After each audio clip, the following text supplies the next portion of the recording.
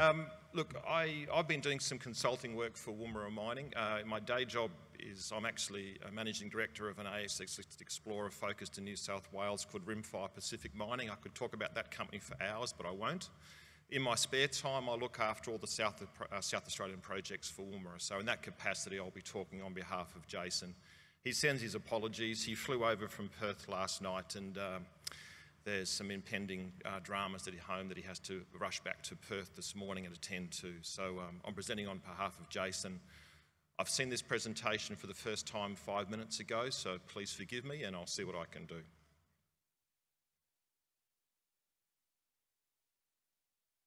Okay, Woomera Mining, obligatory disclaimer.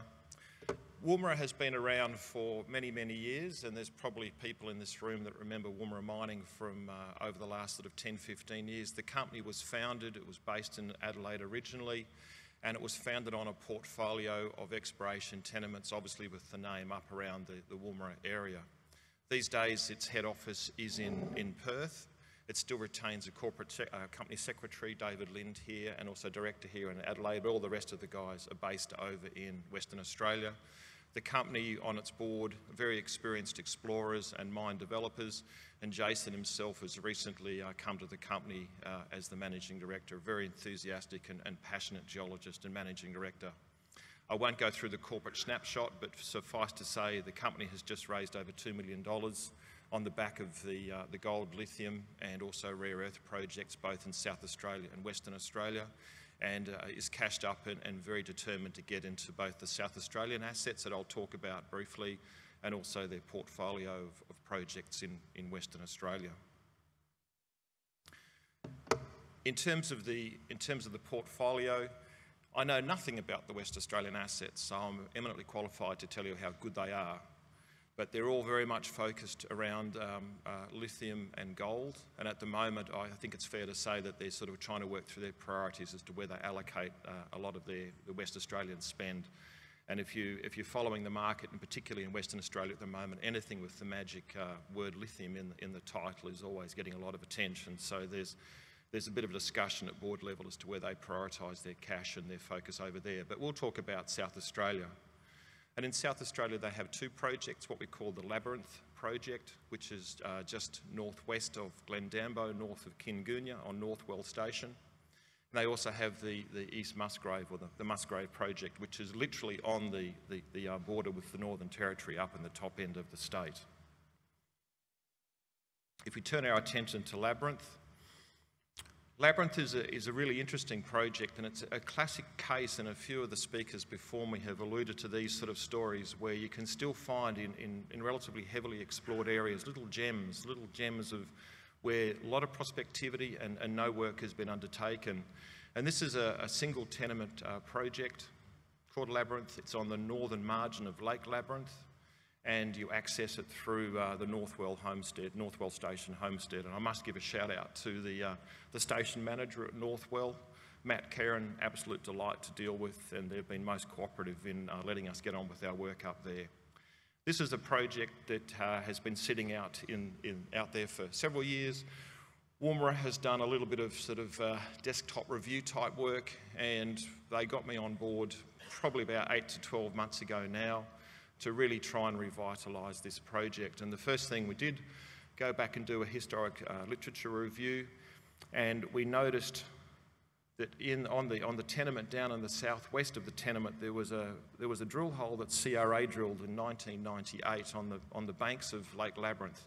You'd never get away with drilling on the edge of a salt lake in this area today, so I don't know how they did it in those days, but they did it. Anyway, the hole was drilled into a very prominent um, demagnetized zone and as they drilled the hole, they went into a mineralised ultramafic unit, some sort of ultramafic intrusive. And what was different about it was that it was heavily enriched in both copper and also rare earths, neodymium in particular.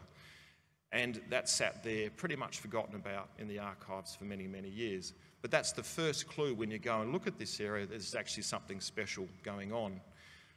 That map on the, uh, the right-hand side of your screen is a magnetic image, I believe. You can see the tenement outline there, that sort of north-south rectangular shape. And in the bottom southwest corner of the tenement, you've got the Lake Labyrinth shear zone. And that's all the area which is being explored by um, our, one of the other peer group companies, Indiana Resources, who I think are talking here later on today. And as you may know, down on the Lake Labyrinth Shear Zone, there is a number of historic mining occurrences. Indiana and the predecessors are working up a series of uh, gold resources and also some new rare earth discoveries as well. So this area is gradually getting some attention. But surprisingly, the bulk of the tenement had never been explored before. So um, in November last year, I went out with the traditional owners. We did a heritage clearance. Uh, we spent most of our time trying to hunt for wombats down wombat burrows with the elders, which was good fun. But we ended up clearing all the area north of Lake Labyrinth, and then we uh, conducted an auger drilling survey, uh, an auger drilling sam- uh, program. First pass auger drilling on 300 metre centres, and we ended up finding a lot of gold anomalies, and we closed that up to 100 metre centres, and uh, these results were only announced to the market, uh, I think, in the last, last quarter. And what this map shows, all the little coloured dots, are basically all the gold anomalies. So we've actually picked up a whole series of, of gold anomalies over a northwest-southeast trending structure, which we've called the Eastern Shear Zone. And interestingly, that shear zone is, has been developed parallel and is probably a, an analogue to the Lake Labyrinth shear zone just to the southwest.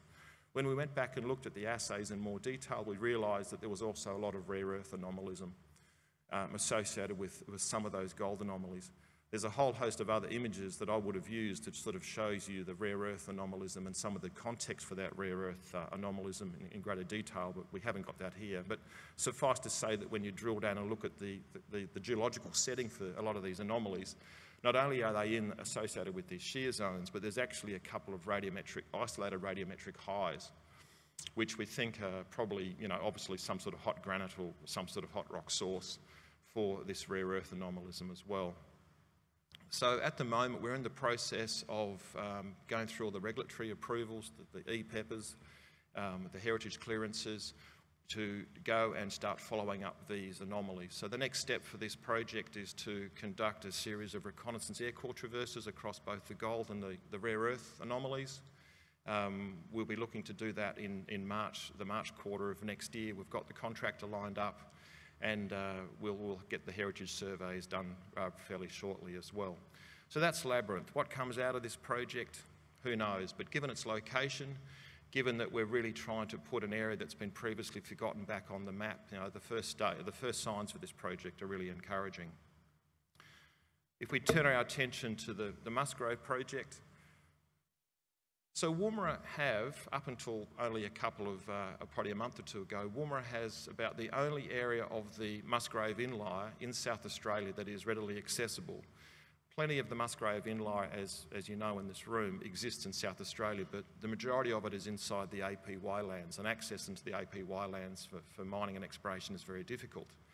Woomera has always had a, a small parcel of tenements up here, and you can see um, on that map there's a little there's a little square in the middle of the uh, that's I'm not sure that's a MAG or a gravity image.